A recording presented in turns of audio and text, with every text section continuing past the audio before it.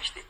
大してじゃなくてものすごい騒音騒音郊外でね。騒音郊外ですか、えープロペラがでかいもんですからですね、それがぐるぐると回るんで、そんなぶつかってが生まれるんですよ。で、近くに住んでる人たちが不妊症で訴えてですね、で、どうなるか、実は非常に問題になってるんです。で、今、あの、どのぐらいの割合になってるかというとですね、大体風力で0.4%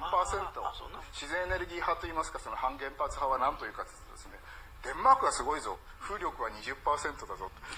オランダは何パーセント？でもあそこは偏西風というものがありましてですね。常時同じ方向に吹いてる風があるわけですね。そういうところとですね日本のように風の向きがコロコロ変わるようなところ。と比較する。いや日本にもね立派なねあれなん台風が来られるんですね。台風が来ればた 多分壊れるんですね。風車がね。そうですね。この間あの伊藤寛さんっていう人と話をしてした時ね。今この事故で一番喜んでるのはアメリカと中国だろう、核アレルギーっていうのをね国民的な規模でね拡大させてしまった、もうだから核反核、えーまあ反原発アレルギーっていうのをねもうやってこれでですねはっきり言うとエネルギーの独立と日本の独立主権国家として独立する道がねやっぱり10年20年後退させられたっていうね、私思いあるんですね。でアメリカにとっては保護国としての、あるいは属国としてのね立場がこれからまた続く。そうですよね。中国にとっては悪夢のような核武装からそういうものを全くまた遠ざかった。核武装という軍事問題とね原子力発電っていう、まあ、普通経済問題と言われているものが実はあれなんですね。根本においては同じことなんですね日本のね独立ってことから考えて軍事政治で言えば核武装がいずれ遠からずかな必要で是が非でも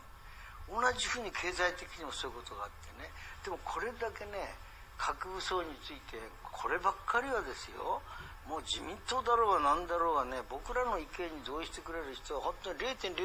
何しかいないわけですよね。そういう下地ができてるでしょそれで放射能アレルギーアレルギーっていうかよくも考えない喋ることもできないような人たちが反対としか言えない人たちがもう66年作られてるでしょ？東電の皆さんに言いたい。核なる上は諦めて